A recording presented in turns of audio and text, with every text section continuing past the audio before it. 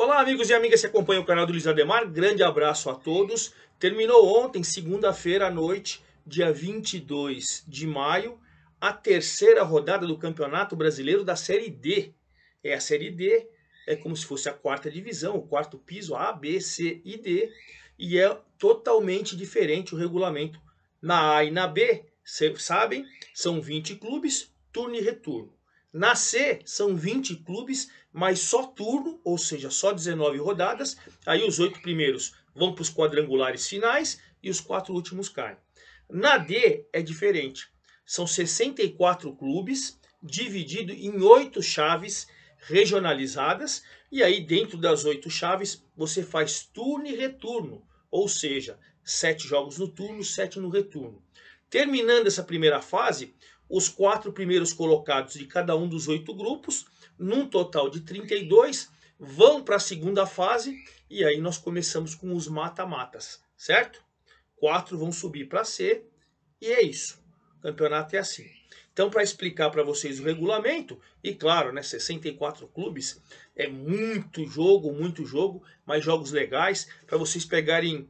É, é, é, tem um exemplo da, do, do equilíbrio do competição, só três times após essas três rodadas estão 100%. O Ferroviário do Ceará, que caiu ano passado da C para D. Ferroviário vai bem, do Paulinho Kobayashi. Outro que está 100%, o Camboriú. Camboriú de Santa Catarina, também 100%. E a Portuguesa, portuguesinha com todo respeito, do Rio de Janeiro. Os três estão 100%. E nós temos dois 100% negativo que ainda não venceram e preocupam, né? O Nova Iguaçu, a gente falou da portuguesinha do Rio, Nova Iguaçu do Rio também, não fez nenhum ponto. E qual que é o outro time? Ah, e o Real Ariquemes, lá de Rondônia, também não fez nenhum, nenhum ponto. E como você tem é, é, 14 jogos, é óbvio que você pode recuperar, você tem ainda mais 11 rodadas. Mas, é, é, por exemplo, no grupo 1, é, é, existe um equilíbrio muito grande. Tem alguns que têm algumas pequenas disparidades, mas vocês vão ver, grupo por grupo, jogo por jogo, como está a situação de cada um dos times. Antes de mais nada, quero convidá-los a fazer inscrição aqui no canal do Luiz Ademar. Já gravei o vídeo da Série A, já gravei o vídeo da Série B, que começa hoje. Eu estou gravando o vídeo terça-feira, 23 de maio. Já começa hoje a nova rodada da Série B. Gravei ontem à noite o vídeo da C junto com o vídeo da A. Enfim, vai lá, curte, dê sua opinião, dê seu like.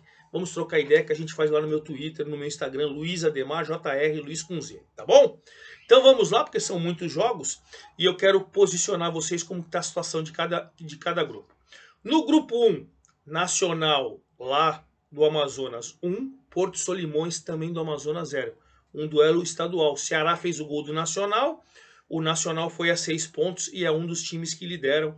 Porto Solimões tem 3.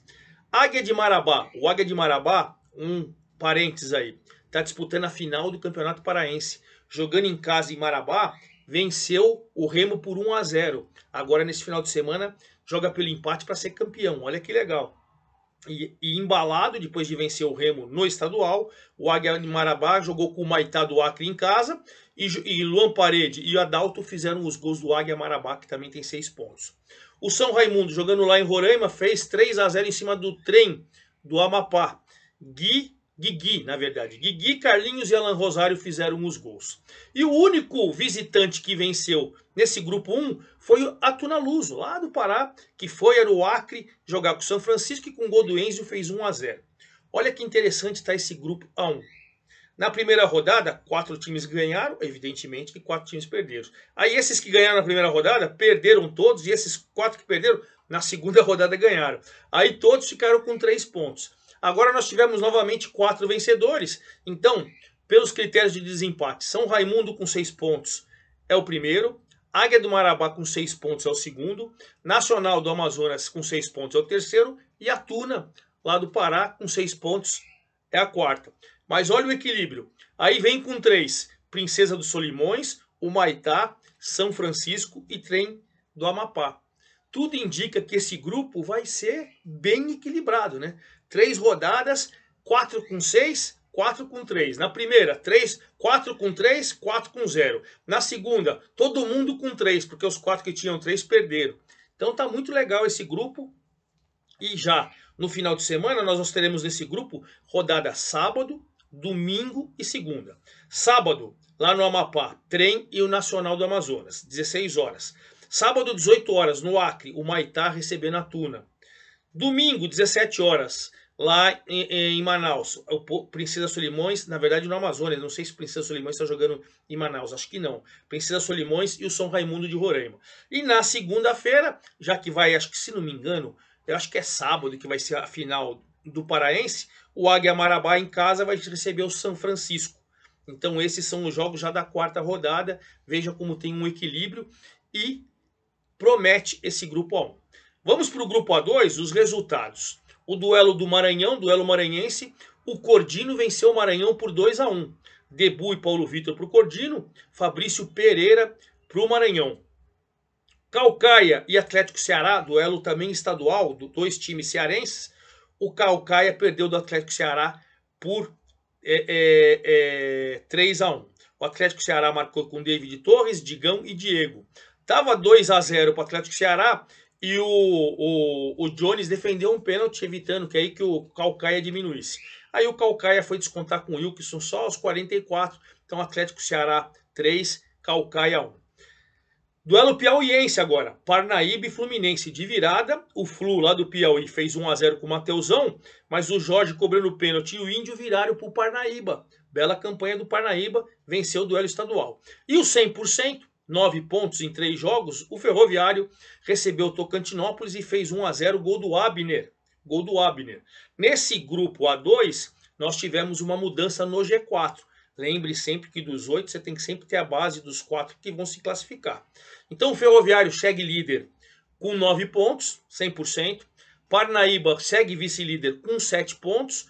O Atlético Ceará segue na terceira colocação com cinco pontos. E o Cordino, que ganhou do Maranhão, tirou o Calcaia do G4. O Cordino agora é o quarto com quatro pontos. Maranhão e Calcaia tem dois. Pelos critérios, Maranhão é o quinto, Calcaia é o sexto. Tocantinópolis tem um e o Fluminense do Piauí tem um. Então os quatro são Ferroviário, Parnaíba, Atlético Cearense e agora o Cordino que tirou o Calcaia, certo? É essa que está a situação do grupo A2. Nesse grupo A2, sábado nós vamos ter Maranhão e Parnaíba, lá no Maranhão. Sábado, 16 horas. Domingo, 15h30, lá no Piauí, o Fluminense recebendo o Cordino. Fluminense e Cordino. 16 horas do domingo, Tocantinópolis e Atlético Cearense, lá em Tocantins. E 17 horas de domingo, 100% ferroviário, recebendo, recebendo o Calcaia, duelo cearense, aí entre o líder 100% ferroviário contra o Calcaia. Vamos para o grupo A3, onde no duelo paraibano, o Souza, que tinha 100% de aproveitamento, acabou perdendo para o Nacional da Paraíba, duelo paraibano. O, o Kel Baiano fez o gol do Nacional, o Nacional chegou a seis pontos junto com o Souza, mas nos critérios o Souza mesmo perdendo ainda é líder. Mas você vê, o Souza tem seis e o Nacional tem seis. E outro que tem seis tumultuando aí na briga boa nesse grupo é o Santa Cruz, gente. A torcida do Santa é espetacular. Série D, apoiando o time. O, o, o, gente, tinha 30.046 pessoas, mais de 30 mil no jogo do Santinha. Santinha, com todo o respeito do mundo, tricolor. É, é, Ítalo Melo fez o gol do Santa Cruz, que fez 1 a 0 no duelo difícil contra o Campinense, lá da Paraíba, de Campina Grande. Duelo difícil. Santa Cruz foi a 6, então você tem o Souza com 6, o Nacional com 6, Santa Cruz com 6 e o Campinense, mesmo perdendo, ele está no G4 na quarta colocação com 4 pontos. Então esse grupo também tem um equilíbrio aí e, e digo mais, o, o, o, Pacatuz e o Potiguar tem 4 também que nem o Campinense, mas nos critérios eles estão fora. Por exemplo, o Potiguar empatou com o Lanterninha Globo lá no Rio Grande do Norte. Perdeu até o técnico Júnior Câmara que acabou sendo demitido, porque o time não ganhou do Lanterna. Mas o Potiguar tem quatro pontos e está bem colocado. Está ali na, na, na, briga, né? E no outro jogo do grupo, no duelo cearense, o Pacajus fez 2 a 0 em cima do Iguatu. Guto de pênalti Vinícius fizeram do Pacajus. O Zelov, lembra do Zelov? Tá lá no Iguatu do Ceará, fez o gol do Iguatu. O Iguatu tem três pontos, está na sétima colocação, um ponto do G4, verdade seja dito. E o Pacajus, com essa vitória, tem quatro também, junto com o Potiguar, mas fora do G4, que é o Campinense, com quatro nos critérios, está na situação é, é, do G4. Então, Souza 6, Nacional 6, Santa Cruz 6 e Campinense 4 são os times do G4. Nesse grupo A3, final de semana agora na quarta rodada. Sábado, 19 horas, Pacajus, lá no Ceará, recebendo o Globo do Rio Grande do Norte. Domingo, 16 horas, na Paraíba, o Nacional recebe o Santa Cruz. Olha que belo jogo. Também na Paraíba, lá em Souza, é, o Souza, a terra dos dinossauros, recebe o Campinense. E aí, finalizando essa rodada, o Potiguar, lá no Rio Grande do Norte, recebendo o Iguatu no domingo, 17 horas também. Então esse é o grupo A3. Vamos para o grupo A4, onde nós tivemos mudança no G4 também. Saiu o Falcon do Sergipe e entrou o Jacuipense da Bahia no G4. O Cruzeiro, o Cruzeiro, é, é Cruzeiro do Alagoas, tá? O Cruzeiro do Alagoas fez o, o, o duelo é, é, é, alagoano com o Asa lá em Arapiraca e meteu 2 a 0 com dois gols do Aurélio, hein? Assumiu a liderança do grupo com 7 e o Asa, que era líder, ficou na segunda colocação com 6. Mas os dois times aí, alagoanos, estão bem, estão no G4 tranquilo.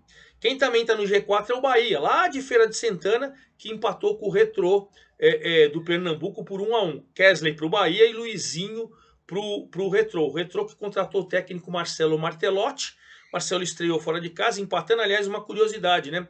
É, são três rodadas, o Retro empatou as três rodadas. Mandou o treinador embora depois de dois empates consecutivos e o Marcelo Martelotti estreou com um empate, somando um pontinho ainda fora do G4. Então, se o Cruzeiro tem sete, o Asa tem seis, o Bahia tem quatro e quatro também Jacuipense, que é novo integrante do G4 desse grupo A4. Por quê? Jacuipense, jogando em casa, empatou com o Atlético da Bahia, duelo é, é, baiano. O Atlético da Bahia tinha mandado embora o técnico Rodrigo Chaves e conseguiu o empate com a Jacuipense. Jean Popó duas vezes marcaram para o Jacuipense e o Leilson, o Adriano e o Michael Jackson fizeram os gols do Atlético da Bahia. Com esse empate, o Jacuipense ficou com os mesmos quatro pontos do Falcon, porque o Falcon perdeu no duelo sergipano para o Sergipe por 1 a 0. O Sergipe tinha mandado embora o técnico Rafael Jacques e aí chegou o Leandro Senna, que foi é, é, é, que subiu com o América de Natal ano passado da D para C e já na sua estreia o Sergipe ganhou do Falcon e chegou a três pontos, deu a primeira é, vitória para sua torcida. Então esse grupo ficou Cruzeiro de Alagoas com 7, Asa também de Alagoas Arapiraca com 6, Bahia de Feira de Santana com 4, Jacuipense com 4 G4.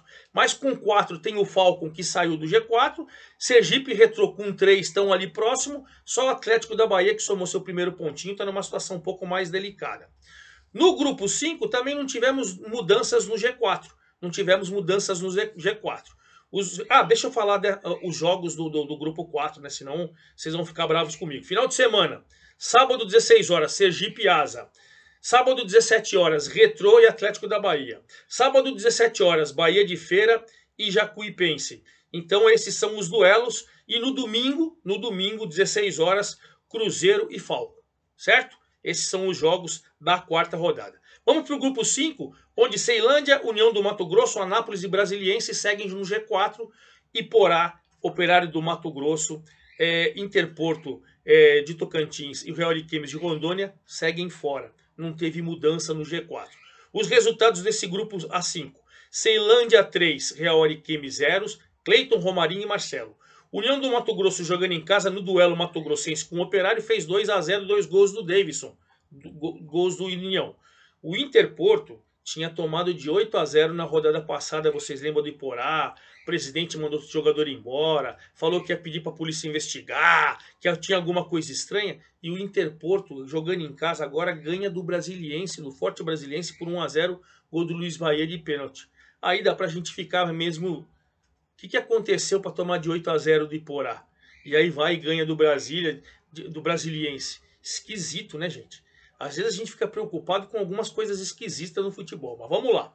E o Anápolis ganhou do Iporá, duelo goiano, Anápolis 1 a 0. Rafael, os 49 do segundo tempo, deu a vitória para o Anápolis. Então o Ceilândia é o líder com 7, União do Mato Grosso segundo com 7, Anápolis terceiro com 7 e o Brasiliense que perdeu segue no G4 com 4. 1-4. Mas tem que tomar cuidado porque o Iporá com 3, Operário com 3, Interporto com 3 estão ali na cola e só o Real Ariquemes que perdeu as 3 está numa situação que parece, parece que não vai incomodar nesse grupo. E nesse grupo A5 Final de semana, Ceilândia e Interporto lá em Brasília, sábado 15h30. Sábado 16 horas, Operário com o Anápolis. Domingo, 15h30, Iporá e União. E 16 horas do domingo, o Real Aliquemes recebendo o Brasiliense. Do grupo 5, então vamos para o grupo A6. O grupo A6 que tivemos mudança, uma mudança no G4. Saiu o Atlético, que perdeu ontem, segunda-feira à noite, no duelo mineiro, e entrou Vitória do Espírito Santo no G4. A portuguesinha 100% continua em primeiro, o Democrata segundo, que ganhou do Atlético, o Santo André em terceiro, e aí entrou Vitória, saiu o Atlético mas também existe um equilíbrio aí e vocês vão ver por quê. Porque nesse grupo A6, os resultados foram o seguinte: Nova Iguaçu, que perdeu todas, foi derrotado pelo Santo André lá em Nova Iguaçu por 1 a 0 gol do Vitinho. O Real Noroeste no Espírito Santo perdeu o duelo é, é, capixaba com Vitória, 2 a 0 João Moura e Maicon. A Portuguesinha, jogo bom com o Rezende, 3 a 2 de virada. Igor Bolt fez os dois do Rezende, Marcelo Toscano, Anderson Rosa e o Wellington César fizeram os gols da virada da portuguesinha. E ontem à noite, segunda noite, com um gol do Iago, o Democrata ganhou o duelo mineiro com o Atlético e tirou o Atlético é, é, do G4, 1 a 0. Então, Portuguesa 9, Democrata 7, Santo André 7, Vitória 4, o G4. Mas Atlético 3, Real Noroeste 3, Resende com 1 e Nova Iguaçu com 0, os dois times cariocas parecem, parecem que não vão incomodar nesse grupo. E nesse grupo a gente vai ter nesse final de semana, sábado, o duelo carioca, em Nova Iguaçu, Nova Iguaçu e Portuguesinha 100%. No Espírito Santo, o Vitória recebendo o Democrata, duelo de G4. Em Santo André, o Santo André recebendo o Resende. E no sábado. E também no sábado às 16 horas, o Atlético recebendo o Real Noroeste. Vamos ver. Parece que tem um equilíbrio, pelo menos em seis times nesse grupo A6. Vamos para o grupo A7, onde nós temos três paulistas. 15 de Piracicaba, que assumiu a liderança, Inter de Limeira, que é o segundo colocado, e a Ferroviária, que até agora não venceu. Esquisito o time do, do Elano, hein? Time bom, mas não consegue engrenar. Tivemos mudança no G4, o 15 de Piracicaba não estava no G4 e agora é líder. E o Maringá saiu do G4. Vamos para os resultados para vocês terem uma ideia. Cascavel e Maringá, duelo paranaense, 1 a 1 Gama Cascavel, Pelezinho para o Maringá. Ferroviária e Inter, duelo paulista, a Ferroviária ganhou por 2 a 1 Jacomini e Cadu fizeram os gols da Inter e o Pilar fez o da Ferroviária. O 15 Piracicaba assumiu a liderança porque ganhou do craque por 2 a 0 dois gols do Anderson Cavalo. E Operário do Mato Grosso do Sul 1, Patrocinense 1, Bruno Dipp para Operário, Dante Patrocinense. Esse grupo, a classificação é a seguinte: o 15 assumiu a liderança com 5 pontos, mesmo 5 pontos da Inter de Limeira. Os dois estão ali, mas nos critérios é 15 Inter. 5 pontos também a Patrocinense. Olha lá de Minas Gerais. Então, três times com 5 pontos, equilíbrio. Aí o craque tem 3, está no G4, porque o Maringá com 3 e o Operário com 3, nos critérios estão fora. Olha que equilíbrio. Aí vem Ferroviária e Cascavel com 2. Ou seja, a uma vitória, o Cascavel, que é o Lanterna, está uma vitória do líder 15 Piracicaba. Grupo promete. Também está muito interessante esse grupo A7. Final de semana, sábado, duelo paulista, em Piracicaba, 15 Ferroviária.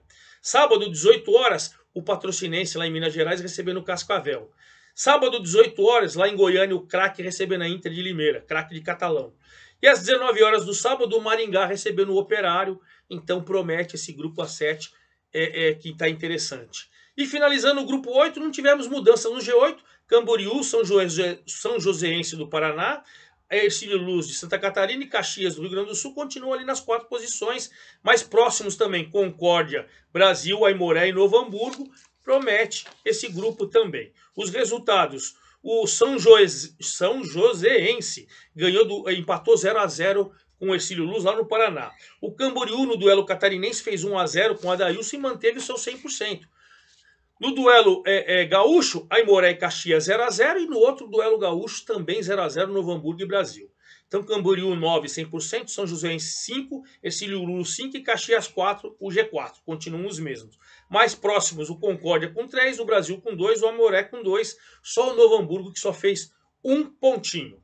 E aí, a gente finaliza então é, é esse grupo que no final de semana você vai ter o duelo gaúcho em Caxias do Sul, Caxias e Brasil, sábado 15 horas. Sábado 15 horas também o duelo catarinense, Estílio Luz e Camboriú. No domingo 15 horas o Concórdia recebendo o São Joséense e domingo 16 horas o duelo gaúcho em Moré recebendo o Novo Hamburgo.